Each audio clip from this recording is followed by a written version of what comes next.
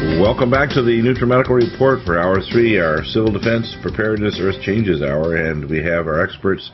John Moore has some very important news, and Morrison will be joined uh, later with Christina Consolo on radiation Fukushima. Also, earth changes occurring with the release of very foul sulfur-like material around the world, many places, including the Salton Sea here in California. These are often a warning sign of earthquakes that are impending. And Alexander Backman as well later on in the hour. Um, John, what's the latest news? Well, uh, in addition to what we talked about privately, I got some breaking news in the last hour. But what we talked about privately earlier today was uh, the fact, and it's been confirmed from three independent sources now, that there has been, there may still be this uh, this week, a confrontation on the Pacific Ocean just uh, uh west of uh, San Francisco between the People's Liberation Army Navy, which is the Chinese Navy, and the United States Navy. Uh, we don't know any more than that uh, from my sources other than the confrontation did take place and may still be taking place. Uh, you and I talked privately about your thoughts on why the Chinese would be doing this regarding their economy and, and how it's not growing at the rate it should be. Yeah, the linkage is this. Um, uh, China has a lot of uh, very good engineers and scientists, but their economy wouldn't grow at all if the globalists didn't, and the insurance companies and the governments didn't, in a sense, mandate the tremendous amount of pension funds and insurance money to be spent internationally to be actually hiring at, at 6.5 times less wage Chinese engineers and workers. And what they've done is shipped a lot of our businesses. 50,000 factories have closed in America, gone to China, Indonesia, uh, India, etc. And what that's done, what's happening now in this last year is the brakes are on. Their uh, economy has dropped, so now they are generating 10 new employees that are qualified with training, education, uh, but only one job per month now. Their their economy, in terms of their trade balance, has dropped from 22.47 percent increase last August of 2011 to only 2.7% this August. So China is on the verge, and by the way, if their economy crashes, which could happen very quickly, uh, they're a production economy. They do not have a large middle class. They don't have a large, if you want to call it, to sell their, their goods. So they're actually storing them. They have giant warehouses where they store the excess they produce because they can't close the factories and just send people home. That's uh, incredible. What will happen in China, basically, the linkage is this. There's a $240 billion oil, gas, and ethylene contract. The largest source for ethylene to make plastics to make Christmas toys and decorations for you, believe it or not, is Iran. Iran supplies the ethylene. The largest, the second largest gas producer in the world is Iran. The, they don't even have, have factories because we blocked them for over 35 years to have their own gasoline, so they have to buy the refined oil products back from China. Now, what's happening is China, if if we block if we attack Syria and Iran, they won't get their requisite oil and ethylene, and their industries will will grind to a great extent to a halt. Uh, this is considered an economic attack on on the uh, giant nation of, of China, which, by the way, right now is not number two; it's number one in terms of industrial output on the planet. America's not number one anymore; we're number two. That doesn't we surprise have, me. Well, yeah, the, the second update um, about an hour ago uh, a very a very good friend that I've known for 24 years, uh, tightly connected with high levels of the military. He says that uh, the uh, remodeling going on at the White House, uh, allegedly to do uh, electrical upgrades, has actually been a project to build a shelter 60 to 100 feet deep beneath the White House. Uh, part of a project which will be expanded to uh, be large enough to have the entire White House staff in this shelter, and of course it'll be connected to the uh, Underground Railroad uh, that's, in, that's underneath Washington, D.C. as well. Uh, right. The, point being, uh, the powers that be don't feel there'll be enough time to evacuate their people, and they, they want a place where they can just take an elevator, get down in the shelter, and then be evacuated by train out of yeah, Washington. by train to Mount Weather and other places, uh, Mount Weather, Virginia. Mount Weather would be the logical location, right? Yeah, yeah. No, that that makes sense. I think that's a good idea. Um, I think what we're really dealing with is the linkage is this. If we attack Syria, Iran will send missiles at Riyadh, Saudi Arabia almost immediately. And this is not going to be like a small arms war. It'll be a missile war immediately. It'll also be a jihadist war, which means uh, the the uh, Muslims who are already embedded here, and again, we're going to have Alexander Backman later, but I know this is a fact going right back for years, talking to many people like George Gruver, Henry Gruver, and uh, other people who've had prophetic visions, that we have embedded Muslims here, many of them paid for by Iran and by these Muslim countries, to embedded in North America, Mexico, and the United States and they're ready to, to, to do mayhem if we attack uh, their countries. Absolutely. Well, if you look at the Drudge Report today, Dr. Bill, you'll see there's been multiple incidents in universities around the United States of uh, threats of terrorism. Uh, in Austin, Texas, uh, they evacuated the entire campus because of threats of bombs. Uh, a number of incidents around the United States. I think we're just getting started on this. Well, I think what what's going to come out of it, and uh, believe it or not, the globalists want this. They they actually want it because most people don't realize. Uh, here's a question: What do you think the civil detention camps are that they built, like at Camp Pendleton and elsewhere? Who do you think they're for? Well, I think they're, they're they could be either refugee camps or they could be detention centers for people they they consider to be well, I, which could be Islamic people. They could be. My, my sources, that these are not for illegal immigrants from Mexico. The number one reason for them being built overbuilt with all this high security is for Muslims. That's the number one, two, and three. When you get down to number four reason, yeah, they want to put some illegals that may be, you know, prone to violence. Most illegals that are working in America are working because they're trying to support their family back in Mexico. Right. Uh, there's small percentage are, are criminals. It's very small. They're usually very strong family people, and we don't have a rational policy for the Republicans. So what I see happening is uh, very unfortunate because Romney and Ryan should win this election. He's handily over Obama. Um, not that we have, you know, we don't have great alternatives to that, but um, they're certainly far better than Obama. But I'm very concerned that they may not win because the handling of a number of policies has been pretty bad. It has been. It has been. Dr. Bill, I know you got a lot of guests waiting, and, and this uh, remaining 45 minutes will fly by. So yeah. I'm, going to bail out of here and let you uh, work with Ann Morrison yeah, so that, and Alexander and so forth. Yeah, that's and, very uh, important to kind of uh, realize exactly what's happening in terms of the military strategy. Uh, the other thing I think that we're likely to be seeing is the government knows that natural disasters are about to strike. And when all oh, this yeah. releases sulfur all over the planet at different places all across the Midwest and other countries. You mean it's not dying fish? No, it's not dying fish. this dying fish theory, yeah, this dying fish theory is a pile of, of as they say, what's uh, rotting in Denmark is not dead fish on the dock. I'd, I'd hate uh, to see what what what what a, what a big pile of fish it would take to smell it from a hundred miles away. Right. What, what we're dealing with is release of salt, hydrogen sulfide and other gases from deep in the bowels of the earth before a major superquake. So uh, what's likely to happen is the San Andreas Fault is ready to rip. The Sea of Cortez, we had a 7.6 last year. The all on the San Andreas Fault. We are due for well, a big one. You know, everybody on this panel can remember when earthquakes and volcanoes would be news maybe twice a year. Now it's weekly, if not daily. Yeah. Uh, uh, anyway, yeah, right. Ann and, and, Dr. Bill, I'm going to bail out of here and let you guys carry the show because you got. Yeah, I really appreciate it. By the way, you should listen to John's show at 7 to 9 a.m. Republic Central Standard Time, Republic Radio, thelibertyman.com. Thanks, John. And Thanks, uh, any any, emergency, any emergency reports, give me a call and we'll get Will it up do. on the uh, on okay. our show. Thank you. John, was that confrontation with submarines? Uh, don't know. Uh, I would not be surprised, but I simply don't know. Okay. Okay. Yeah. Good luck. My, my, guess is it has something to do with probably some missile firing, because we there was some suspicion off of Point Mugu that that uh, incident that happened was actually a Chinese missile off Point Mugu, California, which is just north of L.A. And uh, our missile defense picked it up in Vandenberg Air Force Base, which is where the real space program is saw that missile, and eventually and didn't realize that the Chinese submarine was off our coast. Which basically we can reach out and touch someone. In other words, the Chinese are saying like, "Don't mess with us. We have pretty advanced technology, and if you do, we'll crawl right up your your back doorstep." And that's what they did. Amazing. Back in a moment with Ann Morrison. We're going to be joined with Christina Consolo and Alex, Alexander Backman. Uh, Christina will drop coming on the bottom of the hour. Stay tuned. Preparedness Civil Defense Earth Changes. Amazing reports.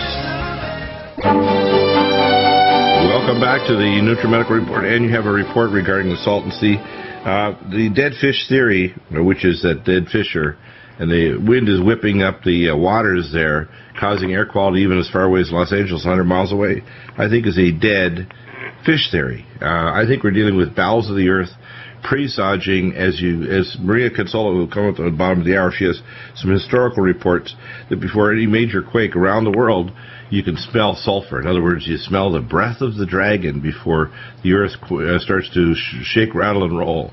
And uh, but there's going to be some major problems if they do what you're mentioning here to the air quality. Tell us all about it. Well, you remember over in Italy when the um, seismologist detected radon, and he says there's going to be a big earthquake, and uh, they laughed at him. And a week later, they had what 50,000 dead or 10,000 dead or something because there was a big earthquake. Well, the same thing happens with uh, sulfur, uh, hydrogen sulfide, and that's the rotten egg smell that they were smelling 150 to 200 miles away from the Salton Sea. Now, everybody agrees that the smell came from the Salton Sea. they just said, but it's like they don't talk to the weatherman. They said, well, the fact that it blew that far surprised us. You know, the the connection between the National Weather Service and the and the uh, geologist is tenuous at best. Anyway, uh, what they're they, they missed those classes in university, I guess, right? I guess they did. They slipped through them. Um, the Salton uh, Sea is expected to drop drastically. It's um, uh, is supposed to be maintained by the Imperial Irrigation District. And what they've decided to do is they're going to build a dam in the center of it, across the center of it, and then the the uh, the uh, they'll keep water in the in the northern part of it, and they're going to let the southern part dry out. And um, the stench from that will be accompanied by ultrafine dust particles and if exposed to desert winds, it would produce the worst particulate air pollution in the Western Hemisphere, not just in the United States, not just in Arizona, but in the Western Hemisphere. So, in other words, the, the southwestern United States is going to stink. Well, not only that, hydrogen sulfide will kill you. It's yeah. In fact, uh, do you know what's the knockdown uh, percentage of parts per million for hydrogen sulfide? It's very low. Five parts per million. In other words, one or two parts per million to smell. Five, your nose is going to hit the ground and you're going to break your nose because you're going to be unconscious before you even hit the ground. That's how hard it is. Yeah, and I did hear that some of the schools, uh, some of the students over near San Diego were complaining. But you know, complaining about it and doing something about it are two different things. If they're getting hydrogen sulfide that far away, I would have expected uh, death reports and I haven't seen anything, any deaths attributed to this um, hydrogen sulfide. Yeah, but the dosage, the, the level that you need in order to smell. The, the human nose is so sensitive to hydrogen sulfide, you can get parts per trillion you can smell. Uh, it's only when you get to, to parts per billion that it gets knocked down. Well, I know, but it's 200 miles away, so I would have expected some deaths over in Arizona. Oh, yeah, you mean in the immediate area? Yeah, yeah. yeah. Well, my guess is that it's probably venting, and that vented air is moving up in a laminar flow and then going up in higher atmosphere and then coming back down again. My guess is it may not be creeping along the ground. at me because hydrogen sulfide is pretty light gas. Well, yeah. Um, the um, it, in one article I read, they said, "You remember when I talked to you about the uh, supersaturated lakes that occurred in Africa, where the carbon dioxide and hydrogen sulfide uh, super super yeah. saturated the water. Yes, and, yes. And then for one reason or another, they were disturbed and and they what is termed turned over. They said that what happened was the Salton Sea turned over because of that seismic activity in Brawley. Exactly, yeah. And those those kind of things can be really devastating, can't they? Well, yeah, because it, it although hydrogen sulfide is a light gas, uh, carbon dioxide is not, and it'll smother you while you sleep.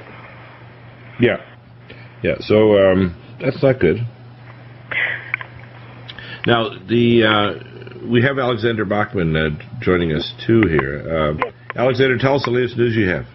Hi, Ann. Uh, well, Hi, just a quick comment on the Salton Sea issue.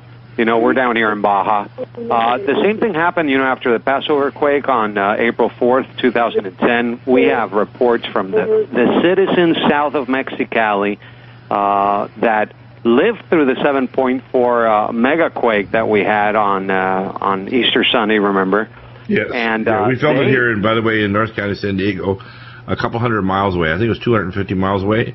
That moved the, the ground like we're on a giant rubber sheet. It was crazy, and it was yes, very loud. Baja California separated uh, about three meters away from the from the um, uh, North American plate. So, just in that quake alone.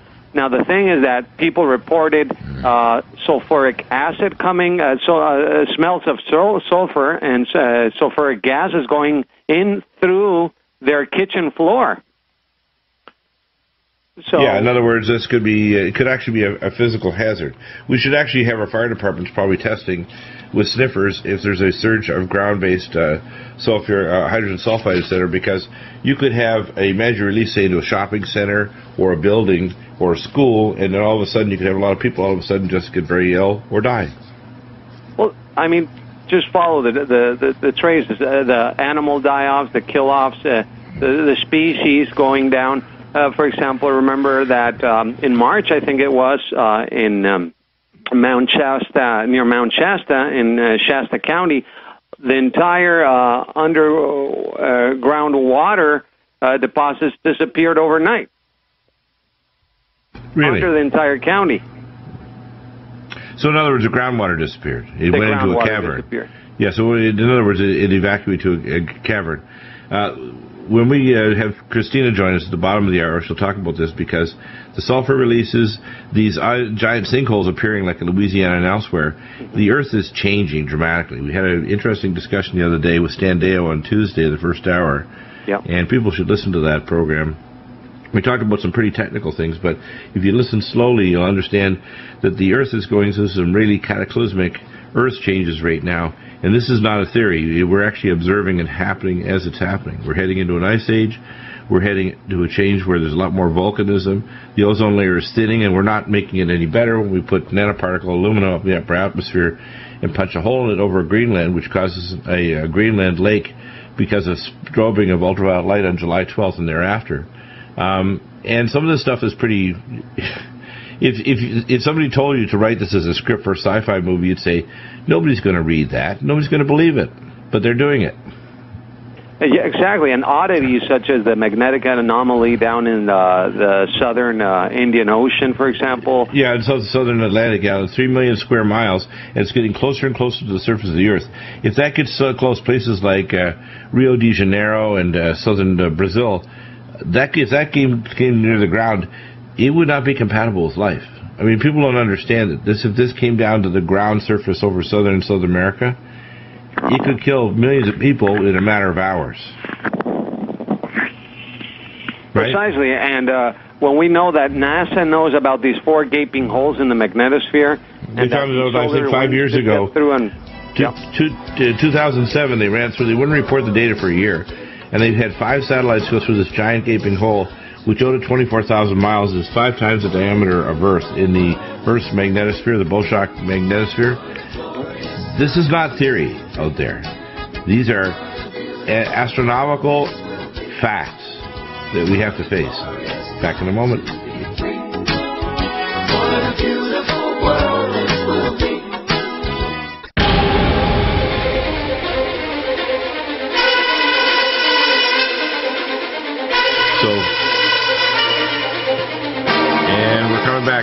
Want to explain a couple things about the galaxy that most people may not be aware of. The um, the center of the galaxy of every galaxy is 2.5 percent of the mass of every galaxy. Uh, the the the uh, there is a recycling of energy and matter that comes out of that through various bursts of energy at high super high frequencies that comes out of that collapsing mass. In other words, it doesn't just keep on eating and eating and getting bigger and bigger.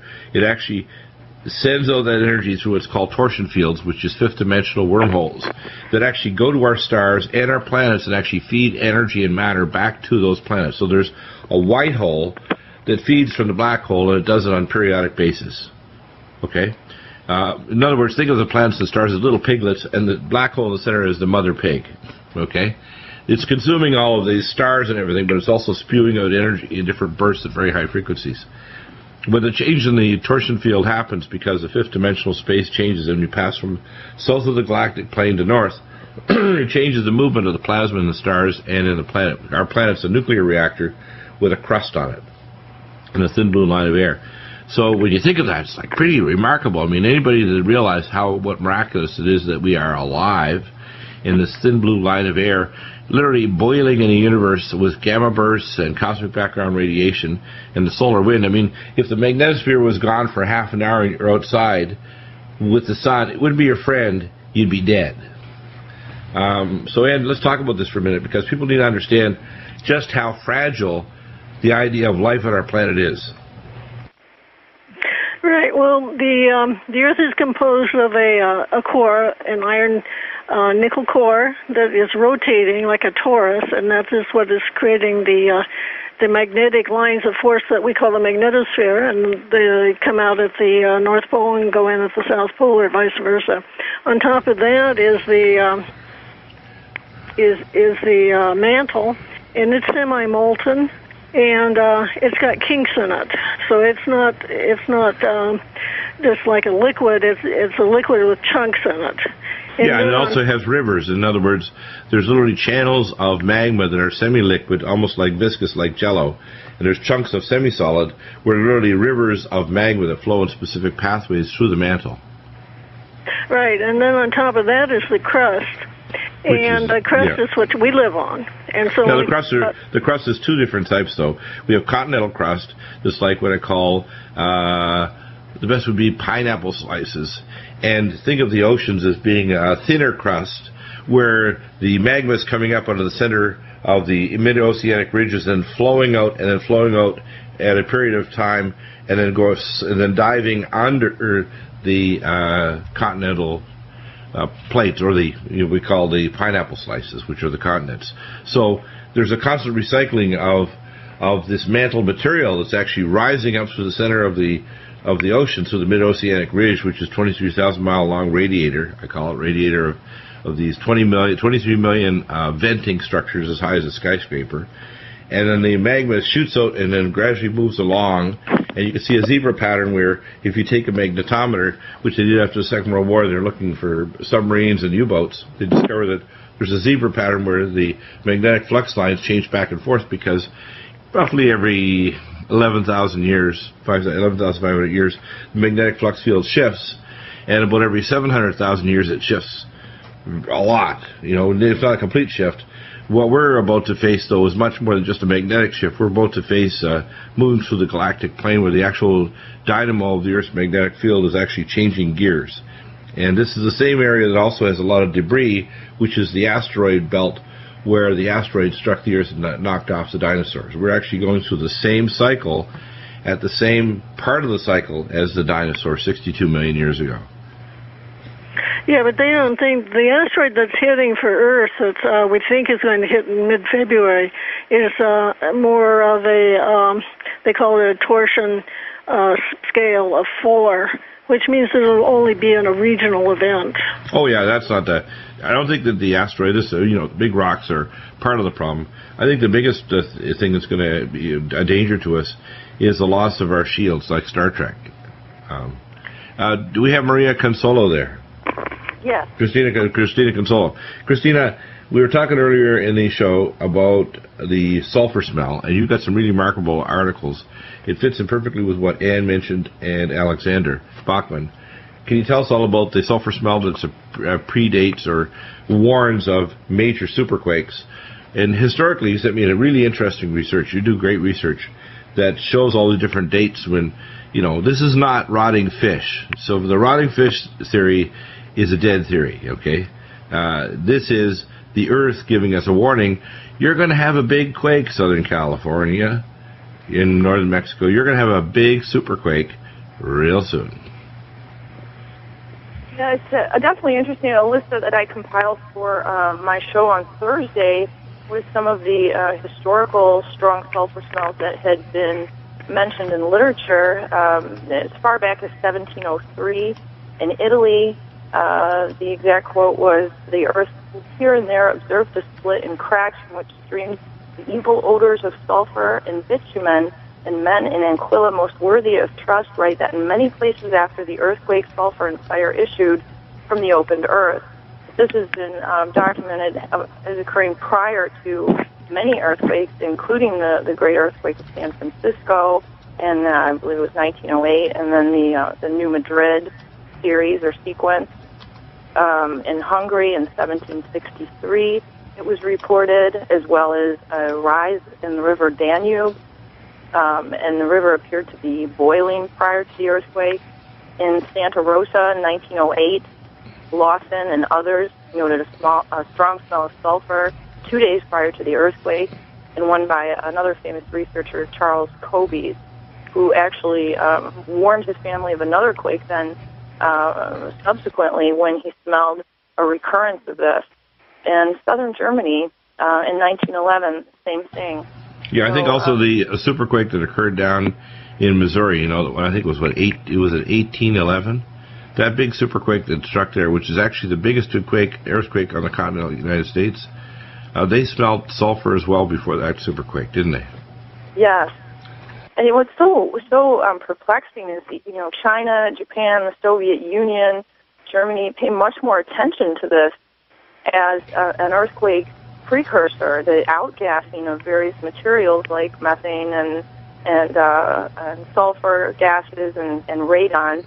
In fact, Japan even has a laboratory of earthquake chemistry where they study this. Uh-huh. US, we know the reason is in North America, unless the the the info news babes on FO or Fox News Network called FO for false, or uh, MSNBC where the uh, or these other foolish networks they call the garbage news network GNN, where they actually if they don't put it on, it's not real. It doesn't actually really matter. So uh, we have a culture of what I call Google geniuses, where if, if you can Google it and find the answer, it's probably true. Or if it's not in the news, it actually is probably a lie, which is pretty strange. Yeah, the, the U.S. is really far behind in, in this field of earthquake prediction, and and um, it, it, it was actually. It doesn't need to be so. As far back as in China, 2,000 years ago. Okay, let, let me let, let me explain the things that we could use to predict besides animals. You can see the torsion field. We have torsion field imaging in space. These are classified projects. The torsion field, which is literally the movement of the magnetic flux lines you can actually see them with these imaging techniques. And when those flux lines move, uh, they can tell. They also have a magnetic satellite that the Japanese put up three and a half years ago. Those flux lines, right before the Santiago superquake that occurred a few years ago, they could see the South Pole magnetically disappeared. It was like, where is it? It's not there. So these things happen beforehand. Here in California, they have these ground level, we call telluric current sensors that actually sense the telluric currents flowing in the earth. And if there's a current change across the fault lines, they know something's about to give. There's actually going to be a release of piezoelectric energy. So there, there's no reason. We actually have the, the science. We don't put the money into it. That's the problem. Or if it's classified, one agency doesn't talk to the other. So the, the guys in DARPA and the space-based projects that are all black op are not going to talk to the uh, to FEMA or anybody else about a coming quake. It's classified. We're not talking to you.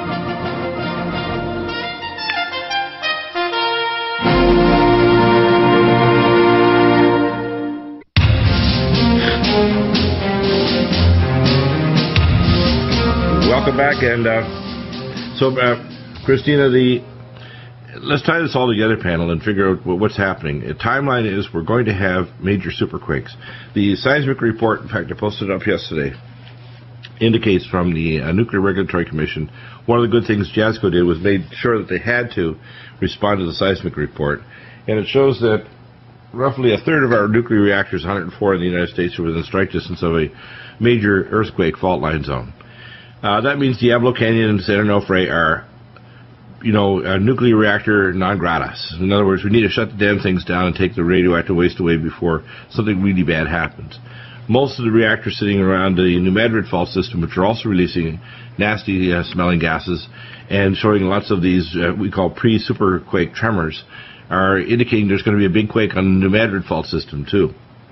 So we're just waiting for a an America in Fukushima. We also have in Japan uh, Mount Fuji is now the magma dome, and the Japanese know this, is filling. This is one of the nastiest volcanoes on the earth, and the Japanese known for millennia. When, Fu- when Mount Fuji goes, they don't love it. They fear it as a monster. They used to think it was a monster.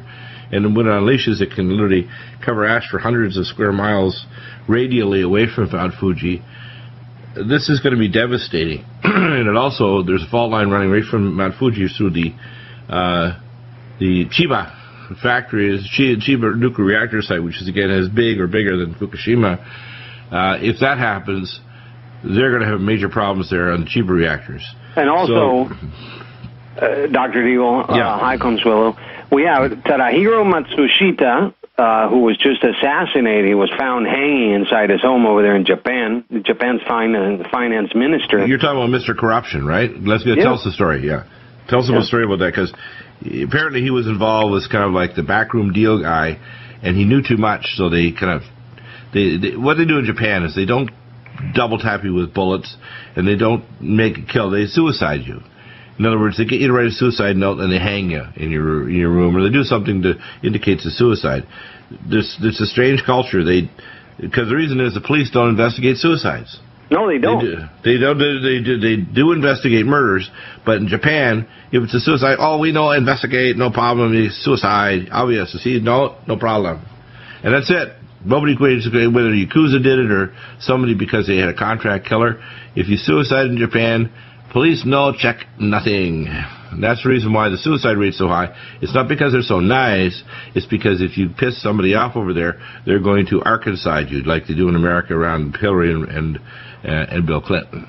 They, and they want to restart the reactor, so basically that's why you know these people are getting uh, whacked. Yeah, the, the, the new director of the of the reactors that control uh, the uh, Daiichi and the Daini reactors. They want to start reactor 5 and 6 at Daiichi. They want to start all the Daini reactors. Uh, these guys are sitting right on fault lines, and their number of earthquakes has increased 500% since last March, a year and a half ago. Things aren't get quieting down. Earthquake Center is like really rocking and rolling. And the Japanese know when they have these tremors, like, what the hell's next? Well, what's next is bad. Okay, uh, you know, there's a, a, little bit of a joke. You know, there, there's there's bad news and really bad news. The bad news is everything I've told you that's really bad is the mild part. The really bad news we don't actually know yet. No, it's the new normal. The new normal is really, really, really bad. And what we can't anticipate is, and this is what I would suspect, in the next number of months, we're going to have a big quake strike San the San Andreas Fault in California and New Madrid. We're going to have Mount Fuji blow. We're going to have these major quakes. And uh, talk about this uh, one down in Nicaragua. This uh, plume of ash is one of the biggest ones you mentioned that you've seen in many years in Nicaragua. And uh, this is big enough that it actually could blot out the sun and actually change the climate of the planet. Yeah, it's happening right as we speak right now. Yeah, Mount, Mount Fuego, yeah.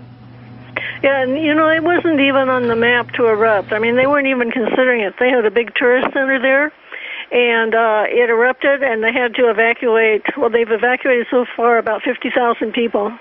Wow.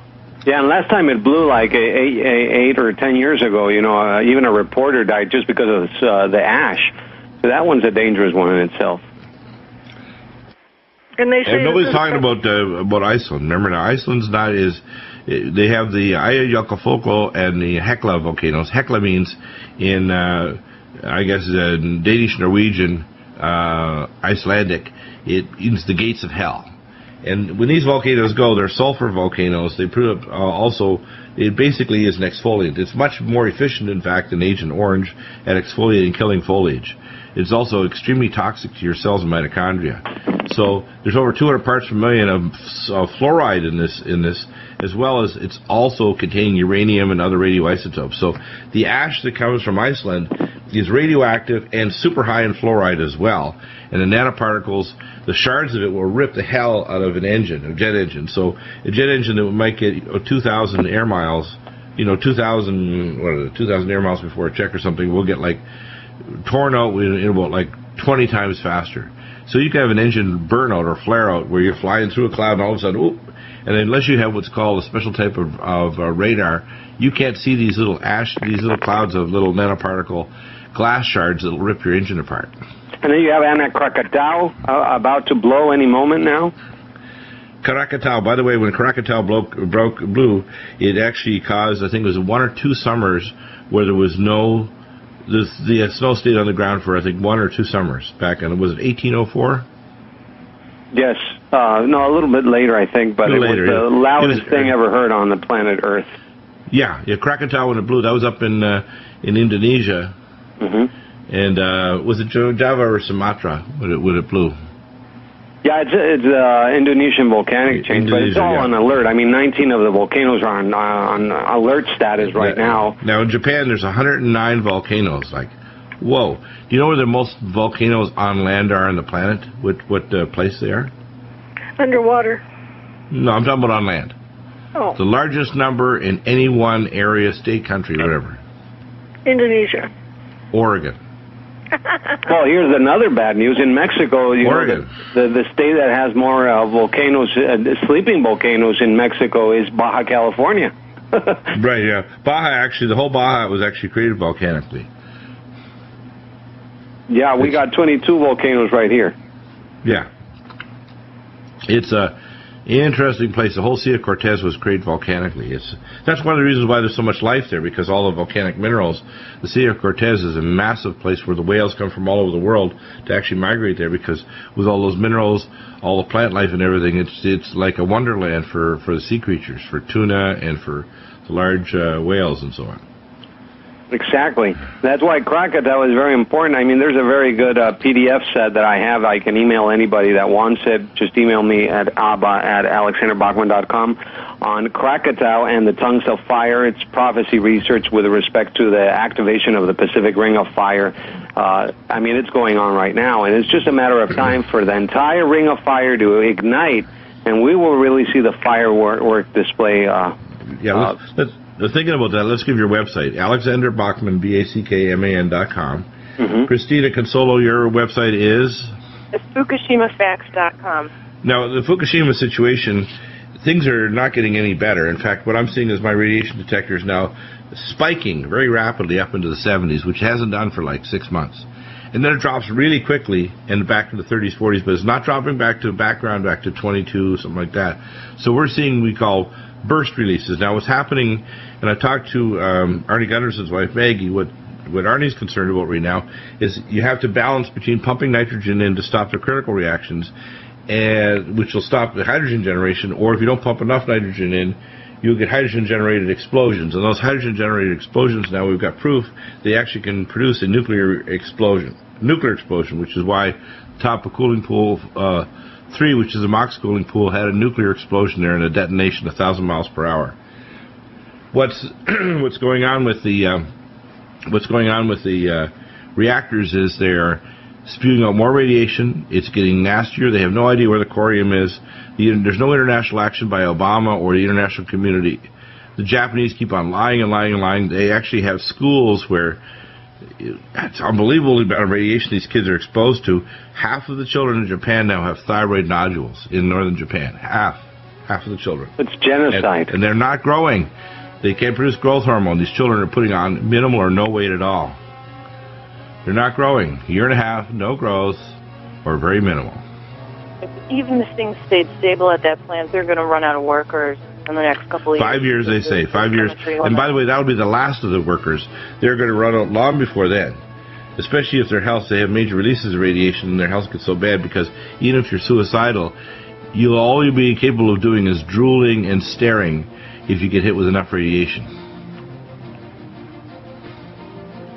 So yeah, it's uh, it's very grim. We better pray to the Most High God to give us direction in this because I call this uh, the year 2 PF, post Fukushima, and this is uh, a part of my trilogy book that will be coming out later this fall called Clay and Iron Time of Sorrows, which we are now in.